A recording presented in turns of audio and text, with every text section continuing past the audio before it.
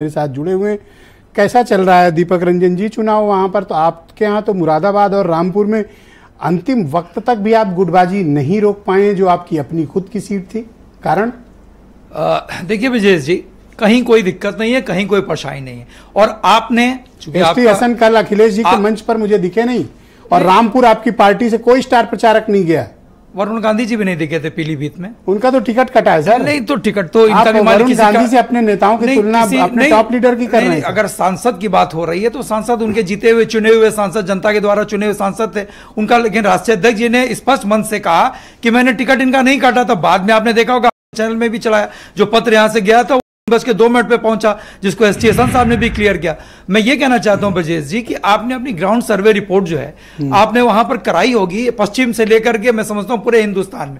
आज जिस तरीके से वोटरों में उदासीनता है आपने देखा होगा कि वोटरों में कहीं आप कह रहे हो कि वोटर उदासीन है।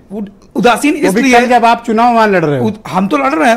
अंडर करंट जो है अंडर कर under current Bharatiya Janata party के खिलाफ और अंडर करंट अलग अंडर- होता है देखिए मैं मैं आपको मैं आपको उदासीन और अंडर मैं आप- दो अलग- अलग मैं। मैं आपको क्लियर कर देना चाहता हूँ विजय जी इस चीज़ को कि अगर भारतीय जनता पार्टी के दस साल के काम से अगर जनता हिंदुस्तान की देवतुल्य जनता का संतुष्ट होती तो आज चट्टी चौराहे और गली कूचे में जाकर के चिल्ला रही होती और भारतीय जनता पार्टी का जिंदाबाद कर रही होती। लेकिन लेकिन मैं उस समाज के बारे में नहीं कहना चाहता कि जिस समाज कई ऐसे समाज है पश्चिम में, आपने देखा हो किस तरीके से मुखर होकर के वो मुख्यमंत्री जी के लिए कह रहे हैं, उनसे बैर नहीं, और प्रधानमंत्री जी के लिए कह रहे हैं, भारतीय जनता पार्टी के लिए कह रहे हैं, तेरी खैर नहीं।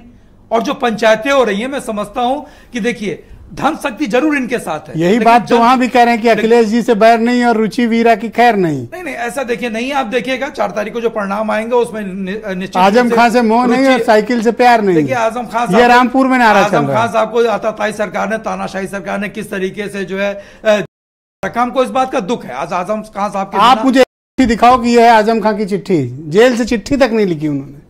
नहीं देखिए हर बार तो लिखते थे। उनको जो देखिए इस मैसेज बार तो कुछ नहीं लिखा। जो मैसेज पास ऑन करना था उन्होंने मैसेज पास ऑन कर दिया अपने लोगों को बुला करके कह दिया है और वहाँ पे कहीं पर जो है वो कहीं विरोध कर रहे हो या रामपुर में जो हमारे कैंडिडेट हैं समाजवादी पार्टी के बड़े बुद्धिजीवी कैंडिडेट हैं वहाँ पे और वो एक ऐसे कैंडिडेट हैं जो जिन्होंने आदरणीय सिद्धे जी एपीजे अब्दुल कलाम साहब को जिन्होंने जो है नमाज़ अदा कराई तो इनका पार्लियामेंट में उन्होंने एपीजे अबुल कलाम साहब कहाँ से खोज के निकाले अचानक बिल्कुल सही चीज़ है ये मैं आपको बता रहा हूँ बड़े और उनके और मेरी मेरी बात एक चीज़ आ जान दीजिए ये लोग आज धन शक्ति के बल पर इतनी बातें बोल रहे हैं। देखिए इनके साथ धन शक्ति होगी मेरे साथ जन शक्ति है। और ये सही कि 2014 में जब इनकी सरकार आई थी उस टाइम इनके साथ जनशक्ति थी लेकिन फिर वो जनशक्ति के साथ साथ जब अभी तो आरएलडी और उन्होंने हाथ मिला लिया आपके दोस्त हैं। ये कैसा हाथ मिलाना है कि सहारनपुर से वो नदारत हैं? और अभी आप नहीं दिखा आपके उसमें चला है एक्स पर कि किस तरीके से सहारनपुर में आरएलडी के लोग जो है वहाँ पे चुनाव प्रचार कर रहे थे और बीजेपी के लोगों ने दौड़ा दौड़ा करके मारा। तो गलत काम करेगा तो, तो ये- ये कौन सा गठबंधन- ये कौन सा गठबंधन उत्तर प्रदेश में कांग्रेस कमेटी के प्रवक्ता है मेरे साथ मौजूद है।